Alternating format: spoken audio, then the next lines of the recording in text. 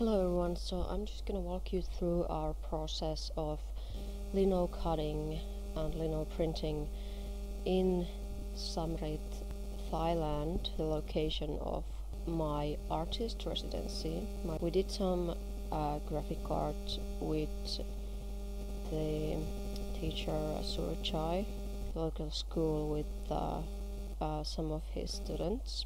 And basically this method is almost the same as wood cutting.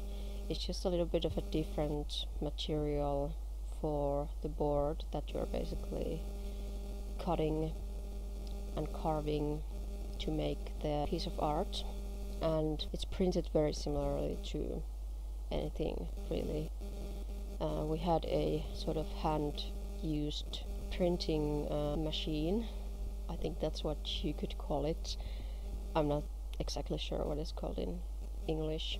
Basically, we we were just like cutting our pieces, and I basically wanted to take this as an opportunity to just document the process a little bit and observe what he was doing because um, he's very famous in this area and very successful as an artist.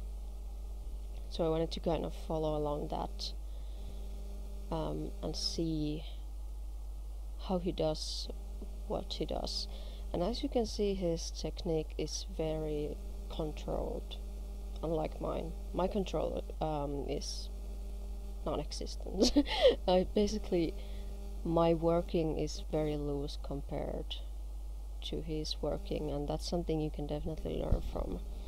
And I just really liked how neat all of these circular images came in his piece of uh, carving. And then also with the printing. I found it very interesting to just like follow what he was doing and what he was um, doing with the the colors and everything. And how they all turned out because uh, basically when you when you cut these pieces out they are the the, the ones that end up being white. So you're kind of making a negative. So if I were to write my name I would have to mirror it. And that's basically one of those complexity complexities to this art. This art form. Another one is that the the paint sometimes gets a little bit sticky and it is a little bit messy so uh, if you ever want to do it just keep that in mind. It's gonna get messy especially if you're not used to the paints at all. If you're doing it for the first time it's very likely that you're gonna make a huge mess.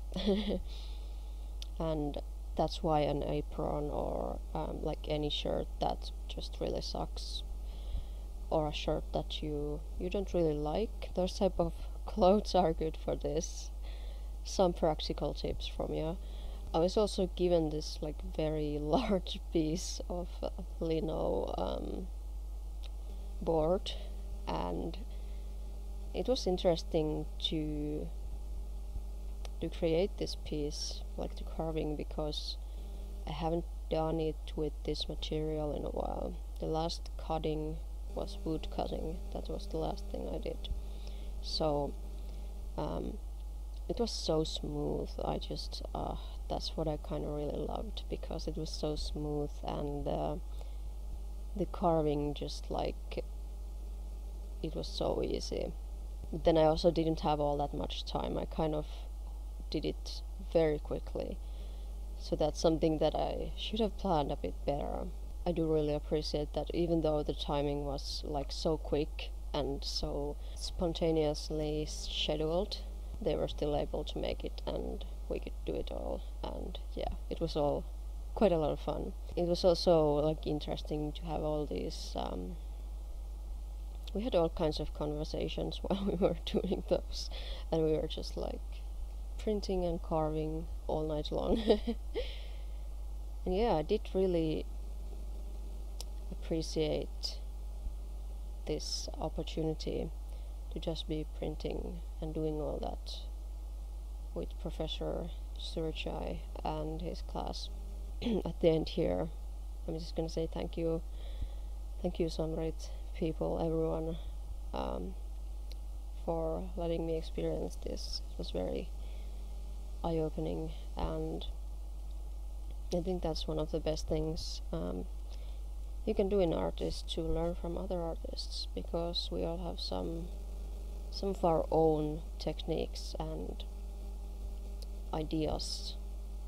And our creativity is like it's a flexible thing. It's something that basically doesn't have any limits in the end.